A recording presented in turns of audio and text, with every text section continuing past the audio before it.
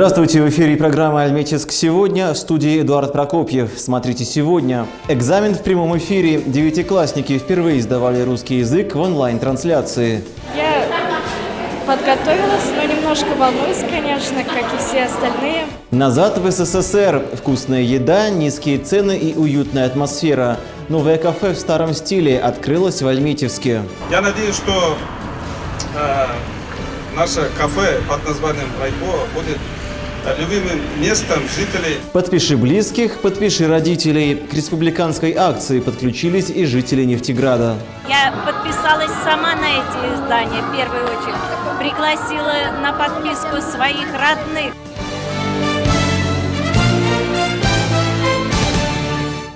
Сегодня девятиклассники сдавали госэкзамен по русскому языку. 1937 альметьевских школьников в четырех образовательных учреждениях писали второй из двух обязательных предметов.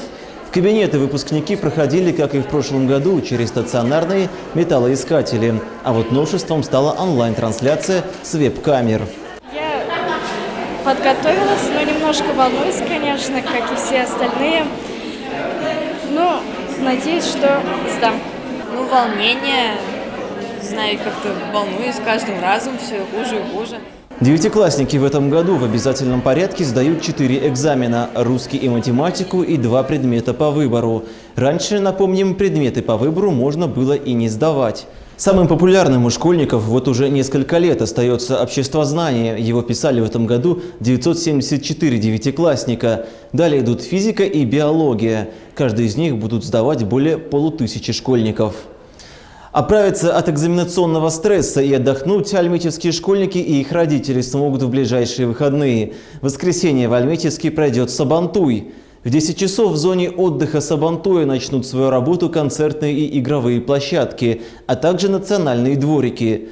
В 11 часов на Центральном Майдане пройдет театрализованное открытие и чествование передовиков сельского хозяйства. С 12 часов там же начнутся спортивные состязания, а маленьких альметьевцев ждет специальная программа на детском Майдане. Конные состязания на ипподроме стартуют в половине первого.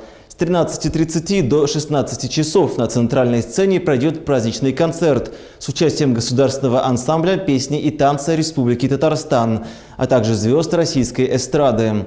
Ну а пока жители Альметьевска могут совершить приятное путешествие в прошлое. В старой части города появилось кафе, стилизованное под заведение общественного питания времен Советского Союза, со всеми атрибутами тех времен и, конечно, с меню, способным подарить истинное наслаждение любителям старой доброй кухни народов СССР. Посетителей встречают пионерки и яркие лозунги на фасаде. Все это так знакомо и близко тем, кто родился в Советском Союзе. Без сомнения, идея кафе в стиле социалистического прошлого вызовет интерес и у молодежи. Тем более, что качественная и вкусная продукция альметьевского райпо давно полюбилась жителям города. Я надеюсь, что э, наше кафе под названием Райко будет любимым местом жителей нашего города и района. Создание кафе в советском стиле – это отражение истории самого Райпо. А еще обещание работать в лучших традициях предприятия с огромным опытом. Сегодня, открывая это кафе, нужно сказать, что вообще кафе в Альметьевске, в Альметьевске не хватает. Не хватает качественного обслуживания. Раз сказать, хочу сказать, что это очень хорошая идея и очень востребована в городе. 86 лет Альметьевская райпо занимает прочное место на рынке товаров и услуг. У предприятия не только богатое прошлое, но и вполне перспективное будущее. Множество интересных идей. Одна из них – это реконструированное кафе уже успешно воплотилось в жизнь. Я думаю, это для старого Альметьевска очень хороший, э, хорошее кафе будет, потому что тут старожилы живут.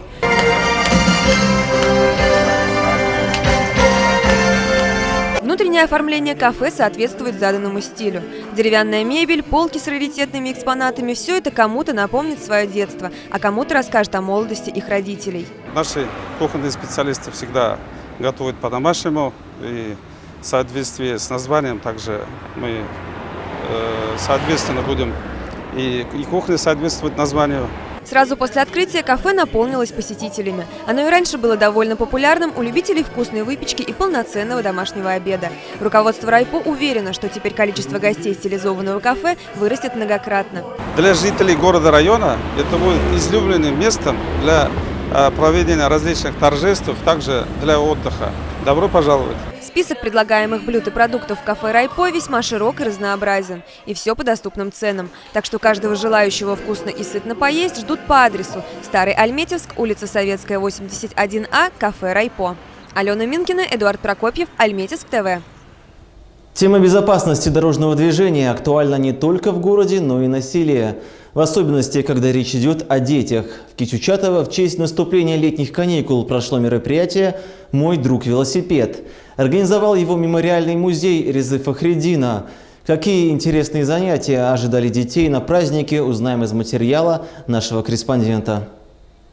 Наступили летние каникулы. У детей и подростков появилась масса свободного времени, и его они стараются проводить на улице. Чтобы лето запомнилось школьникам яркими событиями и беззаботным отдыхом, он должен быть безопасным.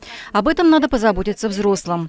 Мемориальный музей Резы Фахреддина организовал спортивный праздник, главной темой которого стало соблюдение правил дорожного движения. Основным транспортным средством для отработки навыков безопасного поведения на дороге стал, конечно, велосипед. Поэтому, чтобы дети знали, прежде всего, как ездить на велосипедах, э, какие у нас есть правила вождения велосипеда, и потом, как пешеход они себя должны вести, это тоже надо изучить. Поэтому мы сделали вот такое мероприятие, своего рода шоу. Мероприятие проходило в форме игры. Дети активно участвовали в викторинах, конкурсах на знание правил дорожного движения, отвечали на вопросы ведущего. Вместе с директором музея Дилярой Гемрановой ребята проехались по привычному для них маршруту – от музея до школы. Она рассказала, как правильно нужно вести себя на дороге и какой стороны должен держаться велосипедист.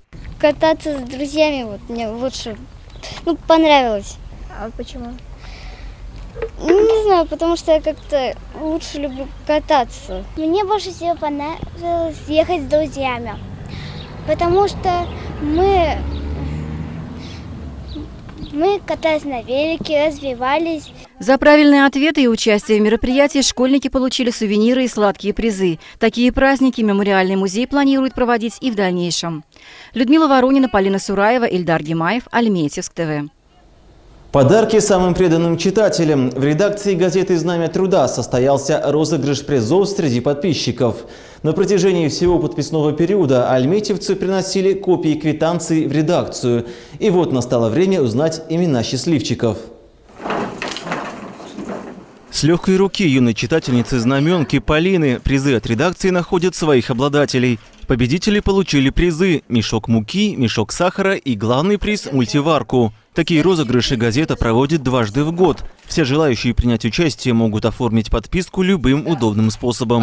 Опять-таки это и альтернативная подписка, и интернет-подписка, и через почту. В общем, кому как интересно. Также победители получили несколько продуктовых сертификатов, подарочные сертификаты на бесплатное объявление или поздравление в газете «Знамя труда» и подарочные сертификаты на подписку на первое полугодие 2017 года. Но не только розыгрышем призов редакция привлекает новых подписчиков. В Татарстане стартовала акция «Подпиши близких, подпиши родителей», которая призвана привлечь новых читателей к печатным изданиям компании «Татмедиа». В ней уже приняли участие как рядовые граждане, так и первые лица республики.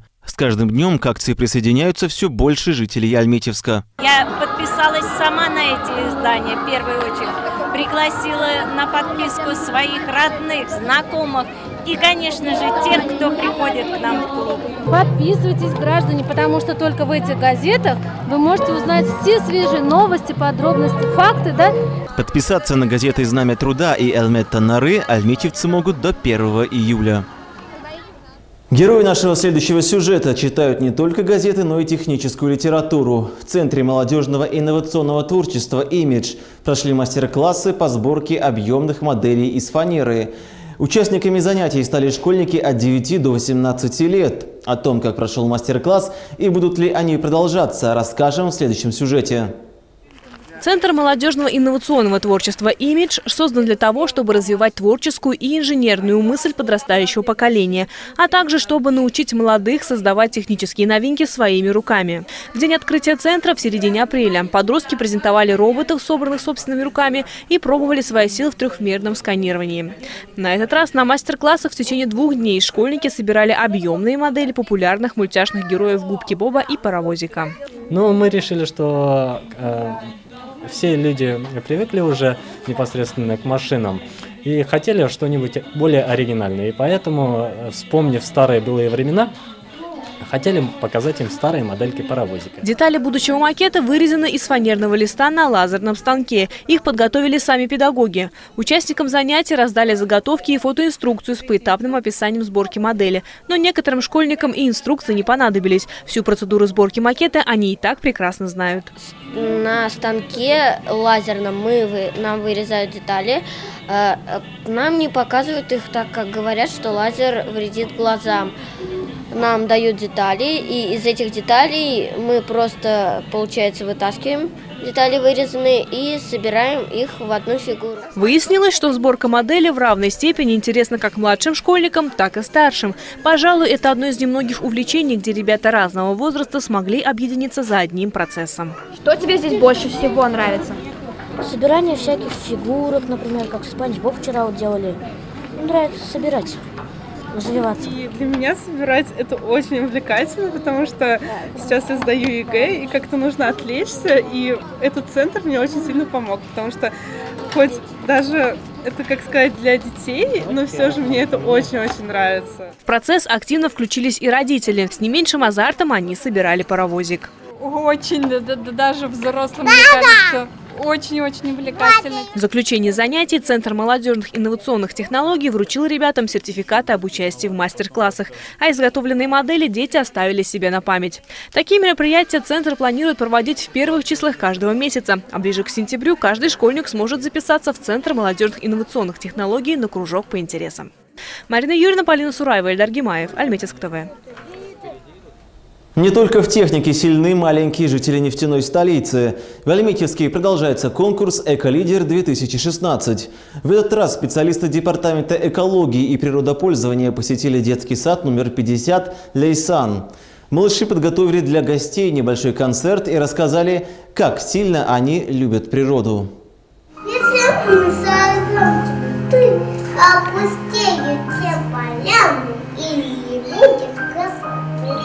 Прививать любовь к природе нужно с ранних лет.